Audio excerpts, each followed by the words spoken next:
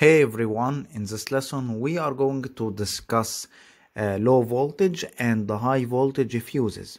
As we know that uh, fuses are used in uh, short circuit protection or protection against uh, short circuit current.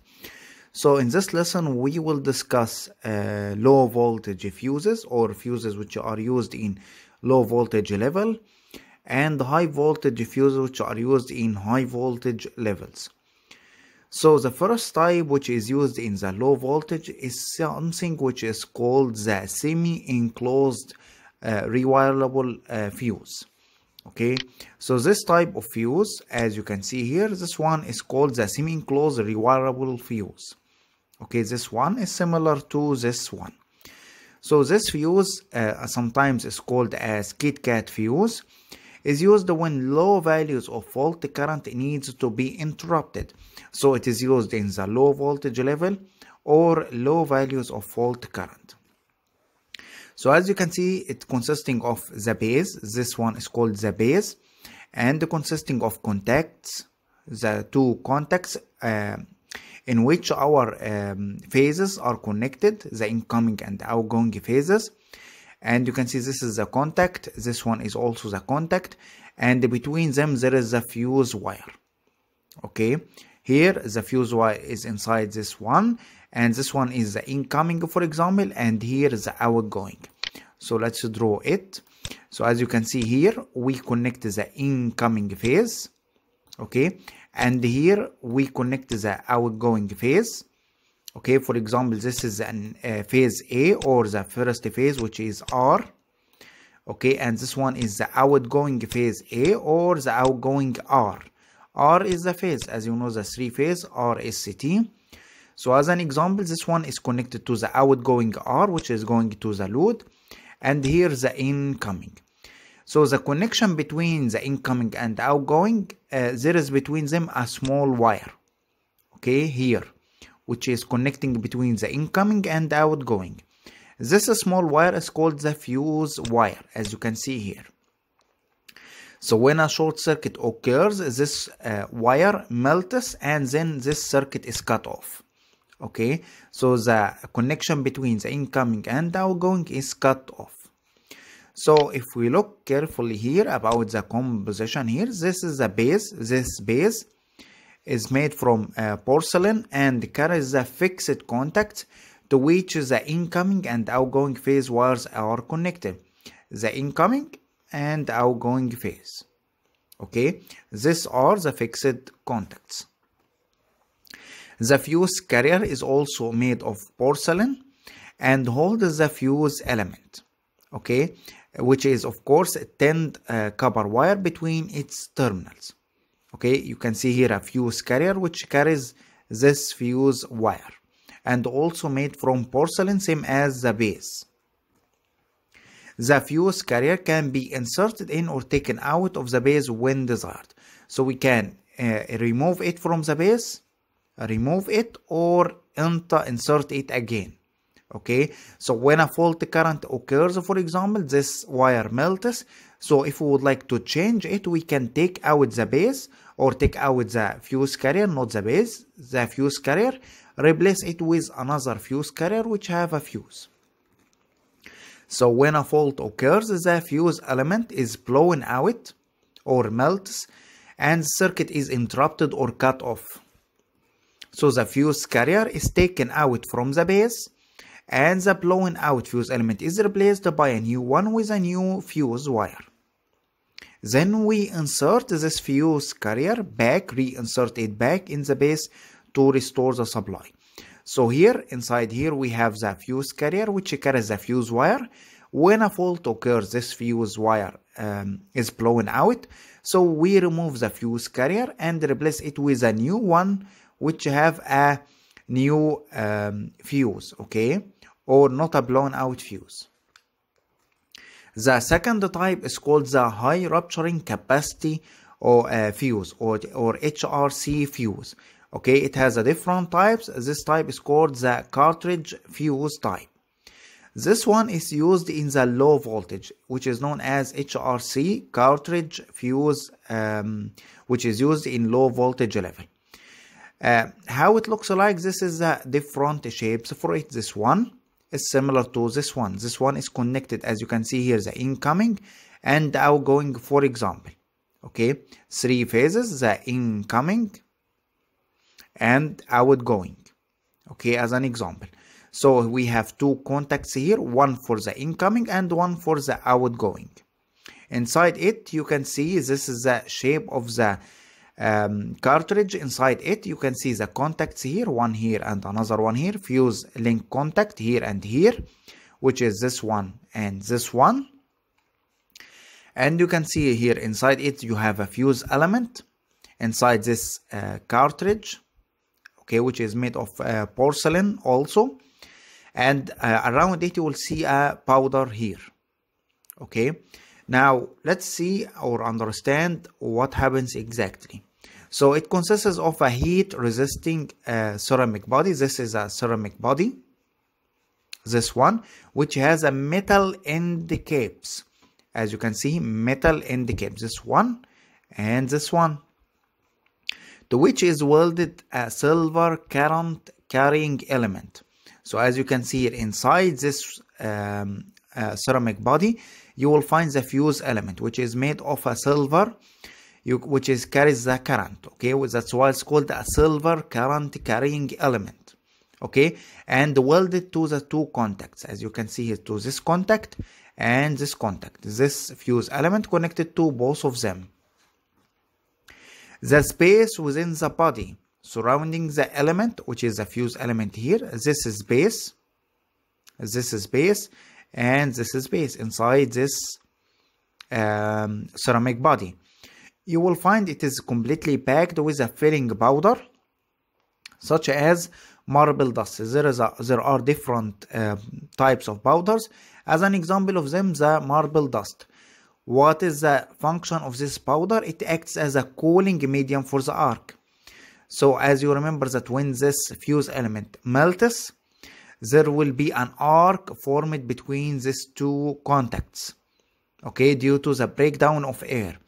So we use the powder here as a cooling medium for the arc of or for the formation of arc okay to prevent the occurrence of fire. So under normal conditions the temperature of the fuse is below the melting point or the fuse element is below the melting point so it carries the normal current without breaking the circuit. However, when we are in case of a fault current, the current will be very high or increase beyond certain limits and the fuse element will start melting before the fault current reaches its first peak. Okay, so before it reaches the peak value, it melts and uh, cut off the circuit. So how it melts, remember that the uh, current or the energy, the energy is equal to power multiplied by time. Okay, so the as the time increases, the energy will increase, which leads to melting of the element.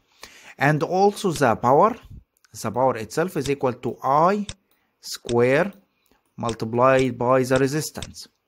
So as the value of the current increases, I square increases or the value of the current increases, the energy dissipated will be really high, which leads to very high amount of temperature or very high um, dissipation of heat energy, which will lead to melting of this fuse element. So the melting of the fuse element depends on two factors here. The first factor is the current. As the current increases, the energy increases or the heat dissipation increases. And also the, as the time passes, more heat energy will be dissipated, which also leads to melting of the fuse element. The heat produced causes the vaporization of the melted silver element. This fuse element, which is made of silver, will be uh, uh, vaporized or will lead to vaporization of this uh, element, which will lead to a vapor of silver. Okay, due to what? Due to the very high heat energy. So what will happen is that the silver vapor and the filling powder such as the marble dust which we said now this powder will interact with uh, silver vapor the vapor which is formed from the melting of um, silver. This will lead to a formation due to the chemical reaction between them will lead to formation of a very high resistant substance which helps in quenching the arc or killing the arc. Okay so that is the benefit of the powder here inside the uh, cartridge uh, fuse. Now for the high voltage uh, fuses we have a cartridge fuse another one which is different from the high rupturing capacity fuse. This one okay works on the same principle but it is different from the previous one. The difference it has some extra features such as number one the fuse inside. It is wound in the form of helix. Why uh, or in it has a two fuse elements in parallel in order to prevent the corona effect at the higher voltages. Okay? So the benefit of having two fuse elements or having the shape of a helix is that um, in order to prevent the corona effect remember that the corona effect appears in high voltage levels one of the fuse element of these two fuse elements which are connected in parallel inside this uh, cartridge one of them have a high resistance and another one has a low resistance which are connected in parallel. So in case of a normal current or normal operation low resistance wire carries the normal current. Since they are in parallel so most of the current will go to the low resistant wire. Okay which blows out in case of a fault. Okay? So remember that we have uh, two wires in parallel. So let's uh, draw it.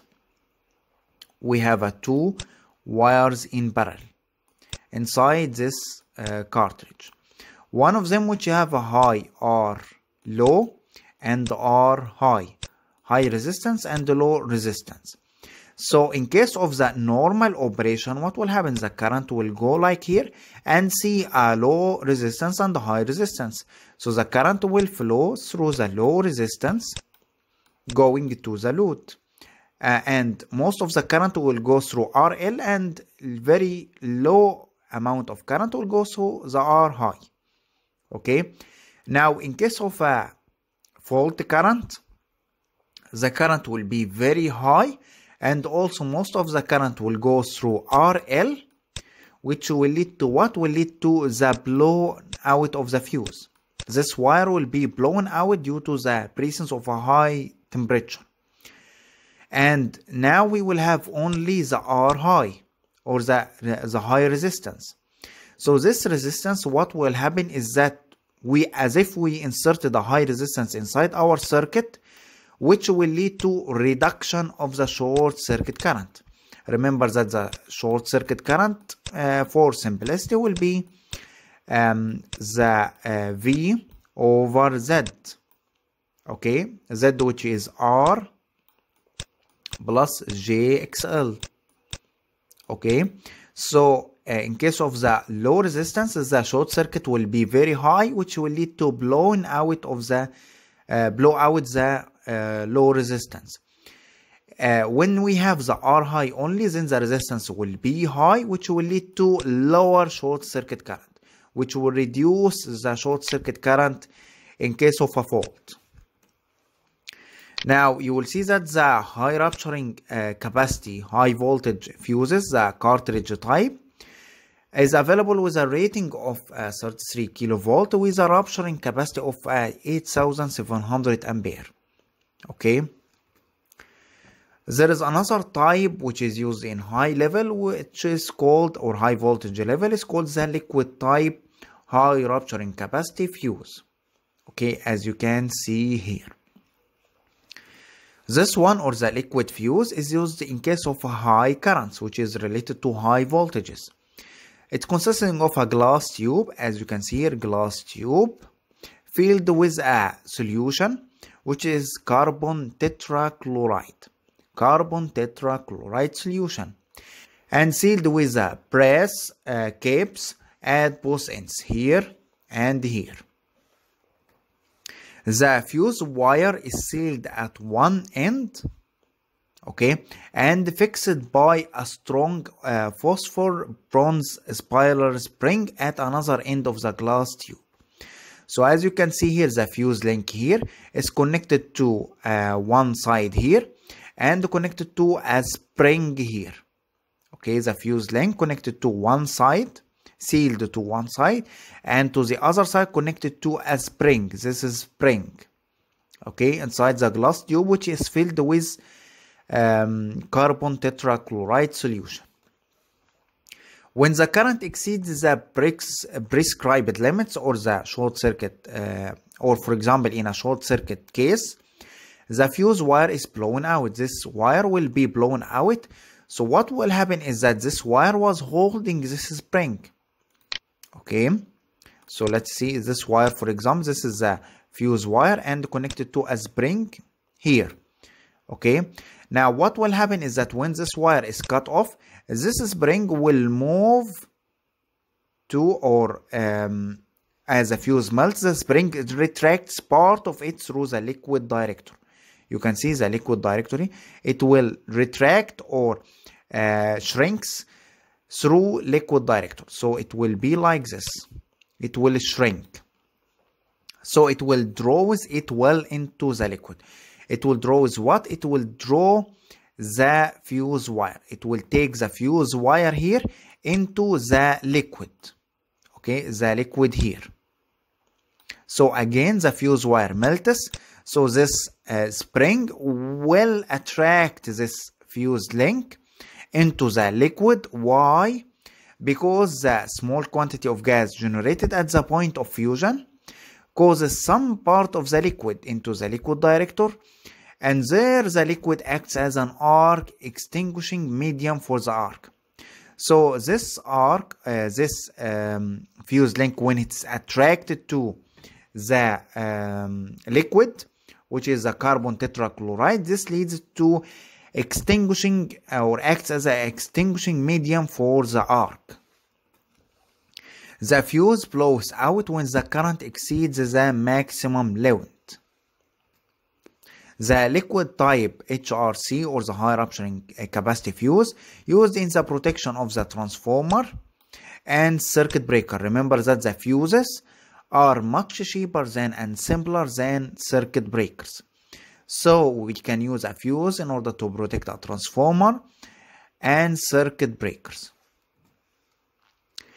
They have a withstand current up to 100 ampere. This 100 ampere is the rated current, normal current. And remember that of course the current is uh, reduced due to high level of voltages. Okay, high voltage means lower values of current, which means lower cross-sectional area. Now here, as you can see, you can use the up to uh, in systems up to 132 kilovolt and have a breaking capacity in case of a short circuit 6100 ampere there are of course more types of uh, fuses. They are this are considered as the most important ones which i discussed in this uh, lesson. So i hope this lesson was helpful for you and see you in another lesson